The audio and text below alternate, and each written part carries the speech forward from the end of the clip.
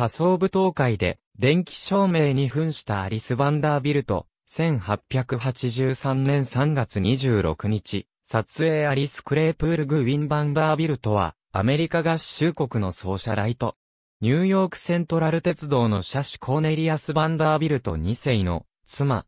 弁護士のエイブラハム・グウィンとその妻のレイチェル・フラッグの娘として、オハイオ州シンシナティで生まれ育った。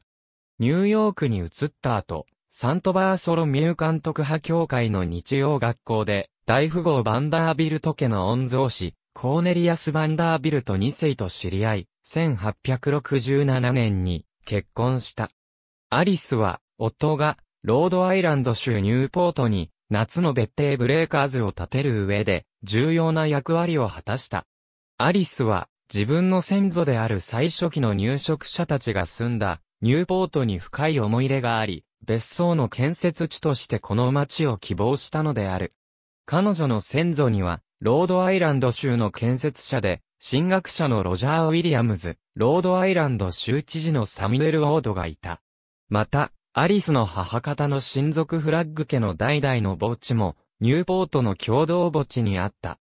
夫と共に、YMCA、赤十字、旧西軍などのプロテスタント系の慈善事業に関わり、また創生した長男のウィリアム・ヘンリーが在籍していたイェール大学に多額の寄付を行い、同大学にバンダービルトホールを作らせた。夫が1899年に死去した後、当主の家父として35年の間バンダービルト家に君臨した。夫との間に4男3女の7人の子女を設けた。ありがとうございます。